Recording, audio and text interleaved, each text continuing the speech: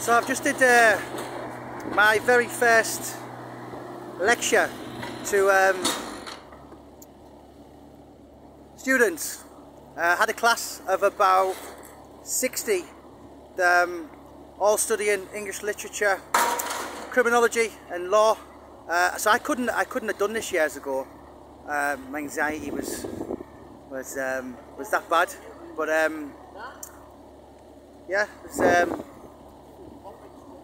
quite humbling to uh, to be asked to come in and I actually worked on this uh, 15 years ago when it was getting built, but uh, you know to kind of go in and teach the kids and uh, and hopefully it's the first of many.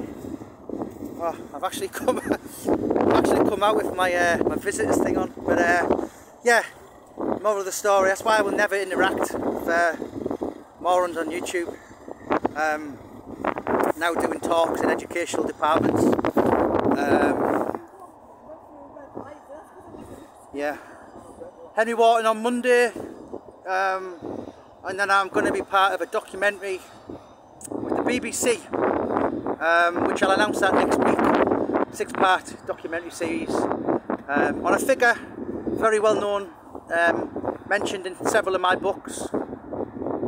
Uh, my phone's gone off. But uh, yeah, first talk done and uh, feeling good.